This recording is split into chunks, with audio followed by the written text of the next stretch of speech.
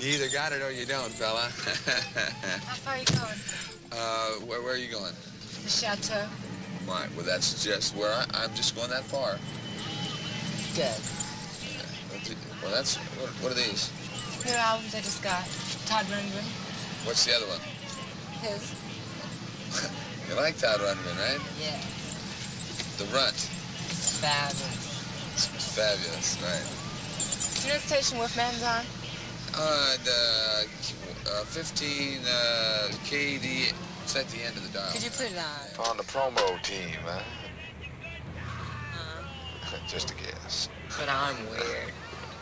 You don't go to this school, do you? Don't talk to me unless you can afford it, honey. Honey, that's a great blouse you got on there. Uh, what do you wash that in? Uh, nice and tight. Must tight? be kidding. I just made a request. Ain't gonna play it. What, what, what the hell you make the request for if you got the record? Why don't you request something you don't have? So I don't have a record player.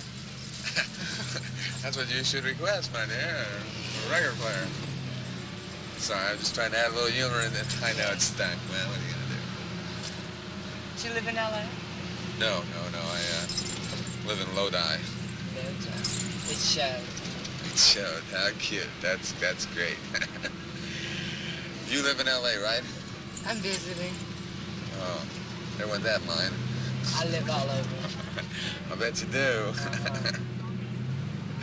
well, listen, uh, my dear. Uh, uh, the chateau. Are you going to be staying there or No, I'm just visiting a girlfriend. She's having a cocktail party tonight. party?